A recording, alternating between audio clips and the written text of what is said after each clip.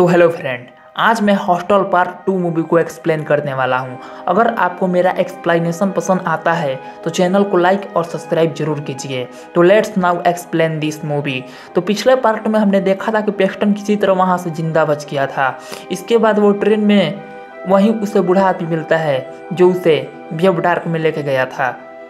जिसे पेस्टन बुरी तरह मार देता है उस बूढ़े आदमी को। लेकिन यहाँ पर उसकी भी हालत बहुत ख़राब हो गई थी। इसके बाद उसे हॉस्पिटल लाया जाता है इलाज के लिए। इसी दौरान वहाँ पे कुछ लोग आते हैं और उससे कुछ सवाल पूछने लगते हैं। इस पर पेस्टन उन लोगों को वहाँ के बारे में बताता है। वो कहता है कि वो एक टर्चर रूम था। वहाँ लोगों को पैसे के बदले टर्चर किया जा रहा था और हंट किया जा रहा था। जो लोग उसके साथ टॉर्चर कर रहे थे। उसके हाथ पर एक डॉग के टैटू के निशान बने हुए थे। इस पर उसमें से एक आदमी आगे आता है और अपना हाथ आगे करके दिखाता है, क्या वो टैटू ऐसे थे?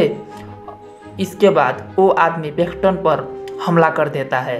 लेकिन यहाँ पर हमें पता चलता है कि ये पेक्टन का केवल नाइटमेयर था और ये बात वो अपने गर्लफ्रेंड को बता दिया होता है और उसकी गर्लफ्रेंड किसी और को बता दी होती है।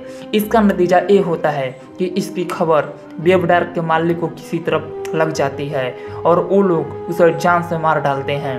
तो फ्रेंड वेब डार्क एक ऐसी जगह है जहाँ से कोई ज़िंदा नहीं बच सकता। यहाँ पर लोग अपनी फैंटेसी पूरा करने आते हैं। और यहाँ के मालिक काफ़ी पावरफुल होता है। तो मेरा वीडियो का बनाने का मकसद इन चीज़ों को बढ़ावा देना नहीं। यह वीडियो केवल एजुकेशन के लिए बनाई गई है। यहाँ पर बहुत ऐसे काम होते हैं जिससे दुनिया अनजान है। तो फ्रेंड मैं सजेस्ट करूँगा कि आप भूल कर भी वेब डार्क के बारे में रिसर्च या वेब डार्क बनना चाहें।